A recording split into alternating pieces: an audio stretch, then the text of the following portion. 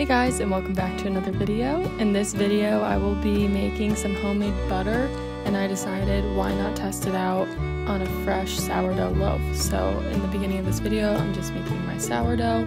If you guys want a full tutorial I do have one up on my channel. I'll link it in the description. Thanks so much for being here and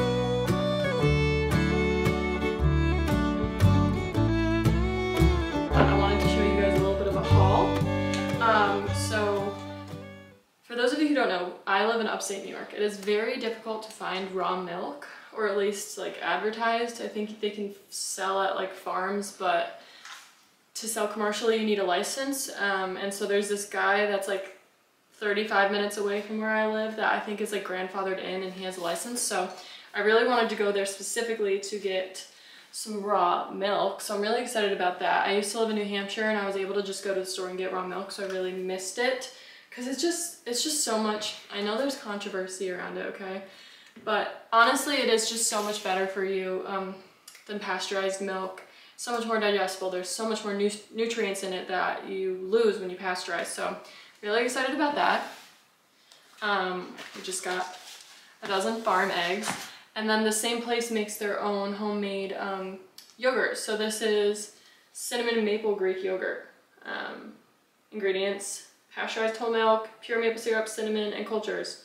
No artificial ingredients, no preservatives, no RBST used on their cows. So just happy to support, you know, a local small business. We got, they also carry a bunch of local vendors. So we got these um, all natural dog treats for my little, my little Daisy. She already had one, she loved it. Um, got my dad some lemon glazed cookies and then the star of the show for this video is we got a quart of heavy cream from also a local uh, creamery, um, Battenkill. Uh, they make really good chocolate milk too. So this is the start of the show. We're gonna be using the whole quart to make some butter. Um, this is gonna be the first time I'm making butter, but figured, you know, start to get my practice in for when I decide to get my own place with my own dairy cow or maybe a dairy sheep. I don't know. So, you know, we're just gonna try it. And then um, we're gonna heat up the bread. I'm gonna show you guys a trick um, to re, you know, reinvigorate your bread, to re-crisp it up, to make it feel fresh again. So yeah, just follow along. We're gonna start making some butter. All right, so first thing is we are going to attach our whisk attachment to the KitchenAid. This, by the way, was a um, Facebook Marketplace find. I didn't want to spend the insane amount of money it is for a KitchenAid, and I got this off of Facebook Marketplace. I don't know, I think it was like a hundred and fifty bucks maybe. Um, and it works like a charm. So check Facebook Marketplace if you don't wanna invest the money in a brand new KitchenAid, just check out your local Facebook market. So anyway, so I mean, we're just gonna go in with this whole quart of um, cream. We'll see how much butter we get. Head down. And we're just gonna start, um, basically you're gonna start making whipped cream, okay? So, just gonna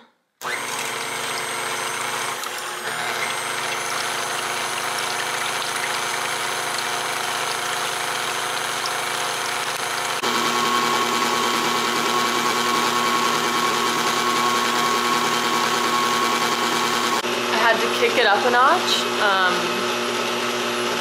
I don't know, I just wanted it to go faster. I had to put a towel over it. Um, this is what I've seen most people do. If you're doing it with a KitchenAid, put a towel over it so you're not getting a bunch of cream everywhere.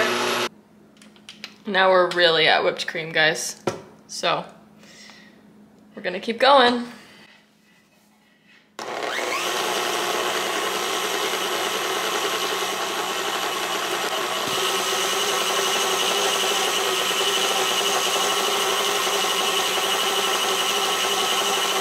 Have to say, I don't know how they discovered this, like, back in the day. Because, I mean, it's just like, it's taking a while on the KitchenAid mixer. Imagine doing this by hand and getting to the point where it's like, oh, heavy cream separates into buttermilk and butter and this butter's delicious. Like, I don't know, but it's starting to, it's starting to get a little bit more buttery. So let me go show you guys.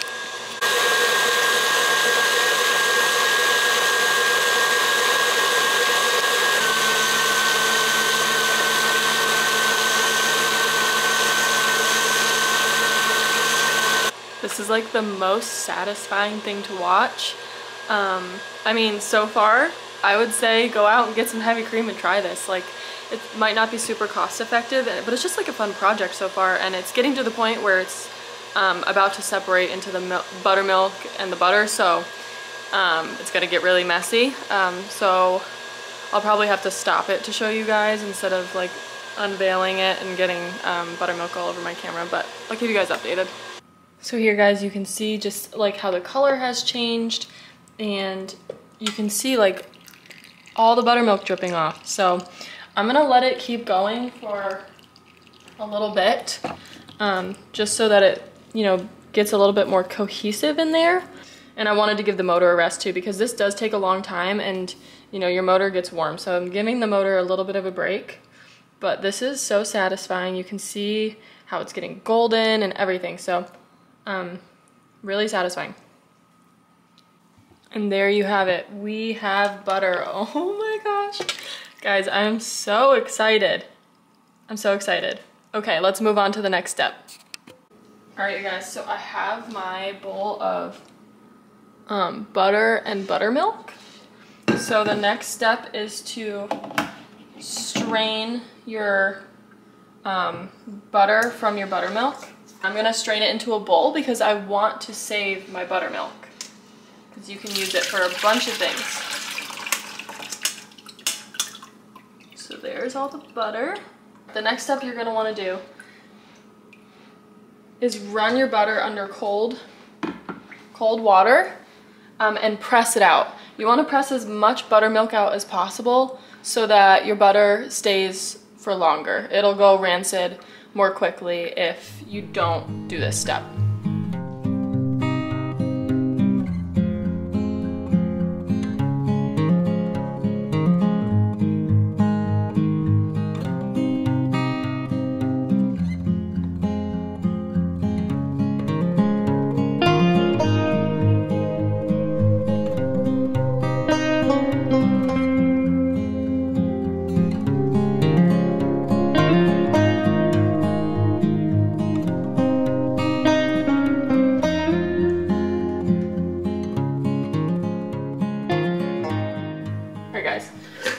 Gonna put my buttermilk into a mason jar.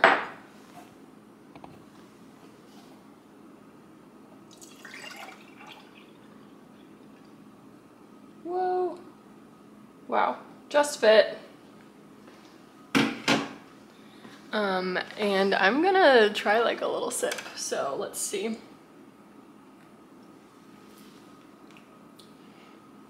Yeah, it tastes like milk, honestly, like thinner, thinner milk, so it's good, but it's good for like soaking um, chicken to make it tender. Um, you can leave it cultured or, or uncultured or cultured. So like your buttermilk at the grocery store is a lot thicker because it's cultured. So you just, I think, leave it out on the counter for overnight, but I'm gonna have to look that up. So um, look it up yourself because I don't want to ruin your buttermilk for you. I have pressed my butter into this dish. I mean, it made like a very good amount of butter. Um, and so for my taste test, I am going to try it with some of the sourdough I made yesterday. So I just wanted to show you guys a little trick. When you have a loaf that, you know, I mean it's fresh, I made it yesterday, but it doesn't have that crisp that you want, preheat your oven to 350, run this under some cold water, I know it sounds weird maybe if you haven't done this before, run it under cold water, put it on the center rack just by itself in your oven for five to seven minutes and you will get a nice fresh warm crispy loaf again. So I lied. Um, maybe do like about 10 to 15 minutes on this but I'm so excited this is a bread knife I got for Christmas by the way um, it's super cheap I'll link it below it's super cheap and it works great so I'm just gonna slice a heel See how that just cut through so well? Anyway, here's my loaf. I'm gonna get a butter knife.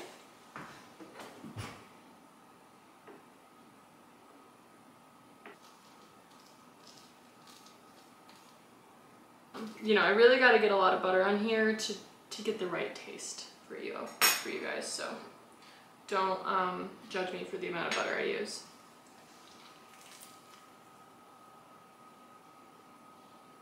It's so good, honestly. Like, it's probably the fact that I made it myself. There's something really satisfying about that, but it is crazy how, like, the butter process, it's just really crazy and really cool. Um, I would encourage you guys to do it. It's really fun. I used a quart, and I got a good amount of butter. I mean, look at that. We use a lot of butter in this house, so yeah, awesome, super good, would highly recommend. Thank you guys for watching this video. If you've made it this far, you know, why not subscribe? We're gonna be doing some fun things on this channel. You know, you don't have to have your own dairy cows, you don't have to have your own homestead to start being, you know, a little bit more homemaker-ish if that's what you wish. And that's what we're practicing for because one day I will love my own dairy cow. So thanks for watching. Bye